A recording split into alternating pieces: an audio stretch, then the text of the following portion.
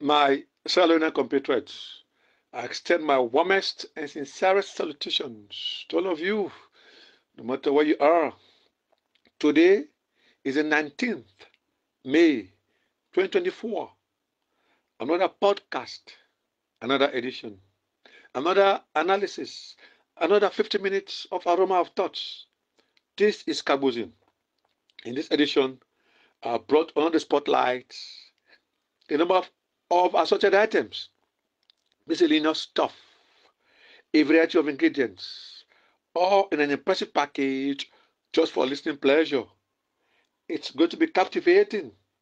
It's going to be fascinating. But first, as usual, my compatriots, our proverb for today. Our proverb for today has come from a country in a sub-region.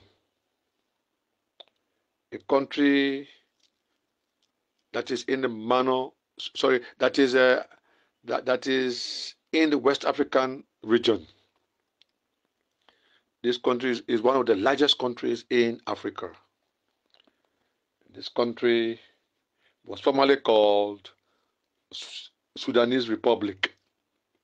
I repeat, this country was formerly called Sudanese Republic. Was, but over the centuries, over the millenniums, the name was changed to Mali. This country is known today as Mali. The, now let's get some facts about Mali here the first pres president of, of Mali there, the first one that led them to the, to the independence was Modibo Keita. Modibo Keita was the first president of Mali. From there, now the current one is a is a kind of head of state, but uh, you know presidents are elected. Heads of state they take power that way, or maybe they are it's a kind of interim leadership. The current one there is uh, Assimi Goita. Assimi Goita is there. From there, they get the capital city of Mali is Bamako. Get the population of Mali, 24.1 million people in Mali. Number of ethnic groups in Mali, there are 40 plus, meaning over 40 ethnic groups in Mali. Now, the current currency there in that country is a uh, CFA franc, West Africa CFA franc and Mali is a francophone country. It means that they speak English there as an official language. Although other languages are there, but talk about official. Now let's get uh, the major exports of Mali. They export gold, cotton, fertilizers, oil, and iron. These are Mali's major exports. Gold is there from day one. At the time of Mansa Musa, Mansa, Mansa Musa traveled to Mali, sorry, made a pilgrimage to Mecca, according to history, in the western Sudanese empires of Ghana, Mali, and Songhai. Mansa Musa traveled to, to the to to Mecca, to Saudi Arabia there. Mind you, Mecca is not the capital city of Mecca, of uh, Saudi Arabia. The capital city there is Riyadh. But uh, Mecca is just another major city, Mecca, but it's not the capital city of Saudi Arabia at all. Now, and uh, so it gave, you know, it was an extravagant giver on the way going to to to Saudi Arabia to make his pilgrimage. Mansa Kanka Musa, the man gave out a lot of gold outside there. Even the chair he used to sit in, gold. The spoon, gold. The plates are all made of gold. So Mali is noted for gold from the one. Now, let's get the biggest uh, trading partners of Mali. They, are, they, they trade with South Africa, Switzerland, Burkina Faso, Senegal, Ivory Coast. Okay, and Ivory Coast. Okay, those are some of the countries. Uh, uh, Mali trade with or trades with. Okay, now let's get the neighboring countries of Mali. Ivory Coast is one, two is Algeria, three is Niger or Niger. Niger is English, Niger is French. Niger, Burkina Faso, Guinea, Senegal, and uh, Mauritania. These are countries that uh, that are that are neighboring to to uh, Mali. Eight countries, because Mali is a vast country. Mind you, Mali is far larger than Nigeria geographically, but a greater part of Mali is uninhabitable. Means people don't live there. You can't build a house there because it's more or less a desert. A larger part of Mali is a desert. So people don't people don't don't build houses there. You know, there's no plant life there, no vegetation, only the sun you can see. Although there are some areas there, you walk in the desert and go for a long distance, you can see some plants grow somewhere. That area is called an oasis, O A S I S. An oasis is a fertile land in the desert. So only those small, small areas at times you can see what you call date palm. Date palm, they can find it in the desert, a kind of, oh God, kind of sweet, sweet.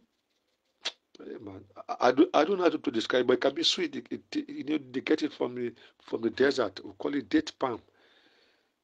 Okay, that's it there. So those are some of the facts about Mali there. My computer. Now let's go to the proverb for Mali. Okay, I'm okay. Yes, the proverb for Mali, my computer. Now the proverb reads: He who follows the right path, thorns will not hurt him. I repeat: He who follows the right path, thorns will not hurt him. This is a very short proverb for Mali. Let's get some words there to, to simplify. He who follows the right path. A path is what we call a small road in the bush. It's called a path. Okay. Okay, not only in the not only in the bush too, a path is also an area occupied by an area, a kind of road that is used by the train although also call it railway or rail uh, railroad. Even the airplane there, the path it takes to go, you know, the path, the airplane in the air, the, the um, aeroplane, we also call it path. But this one is there for the bush for now. Now look at tons. What are tons? T H O R N S. Tons is what we call in bank. You know, if you walk in the bush there, in the bush there, there's some areas, you know, you can be hurt by these tons, bank. I don't know how to call it in Creole now.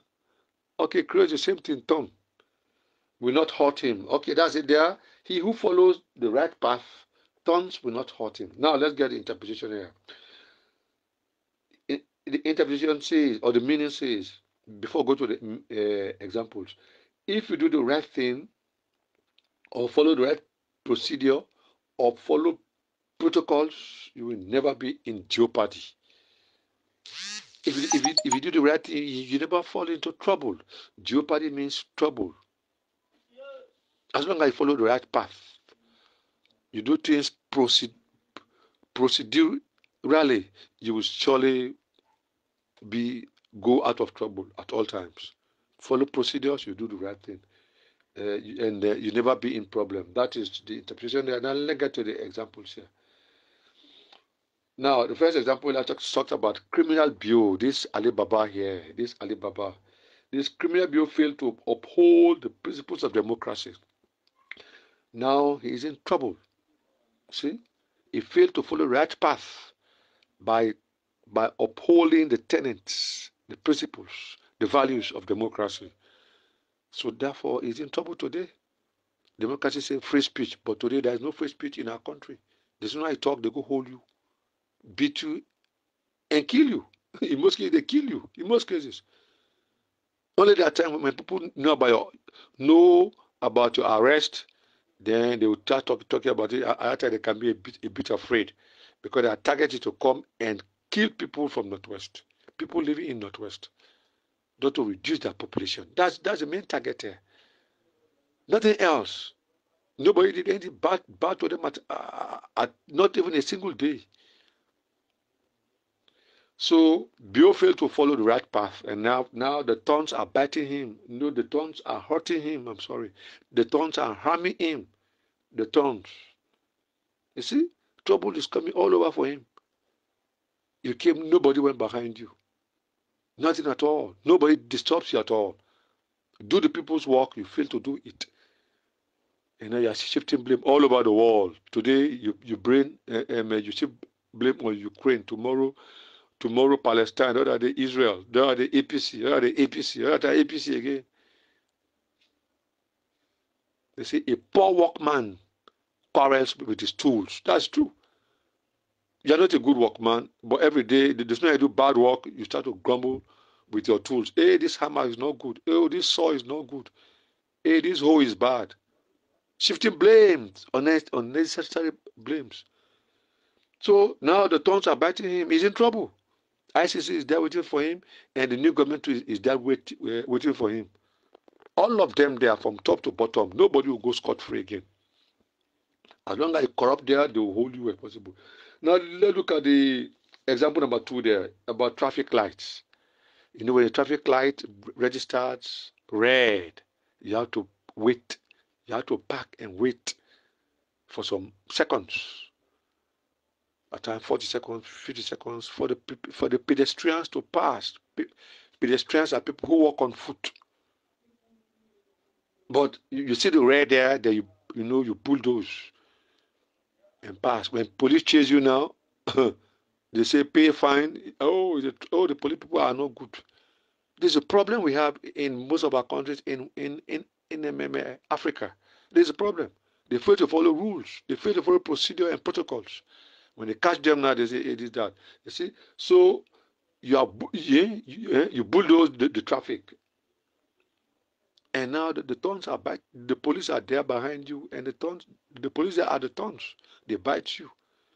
My compatriots, for the last time, the proverb from uh, from uh, Mali: "He who follows the right path, thorns will not hurt him at all." That's the proverb there for Mali, and that's the interpretation there, my compatriots. I hope that suffices, and I guess that's fully comprehensible. Now to business, my compatriots. True, true business. Now, I've been away for for some time, roughly 10 days or so, but the worst is going on. So, you know.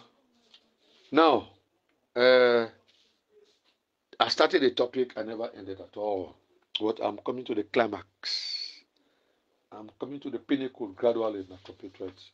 This topic, this uh, item or topic is uh, is wide, so I have to take my time to you know, to do my research on some of them and come up. Now, the topic reads 24 wicked politicians, 24 nefarious politicians whose actions have led us to what we, we are today. Wicked actions, bad politicians. As, as I said last time, some are not politicians at all. Some are politicians, some are groups of people some are APC, some are NGC, some are PDC, some are COS, all type of party. They help to damage the fabrics of that country in no small measure at all. So I, I did some of them the last time. I'm, I'm sure I'm always on about 21 now. But one there I dealt with, I always call their names Abbas Bundu and KKY. These two people here, they are, they are, they are hopeless, educated fools in, in, in that country. Nobody profited anything from them. From there, I talk about Ben Kaifala, the man that is trying to cover corruption committed by the people from the, from Southeast. When the corruption act is committed by or committed by any person from the North, oh, that person will be the talk of the day. That person will be the center of attraction now, from there, I talk about Fatima, the most shameless first lady in the whole world that can talk about what is happening in bed between him, sorry, between her and her hopeless husband there, so-called husband. That they never got married at all until they got until they got to power. They stole her money to marry her. Hopeless set of people there. From there, we have Richard Konteh with APC there. Richard Konteh, he had, he had been in bed with Bio for quite a long time, but we never knew until he came out to say, oh, me,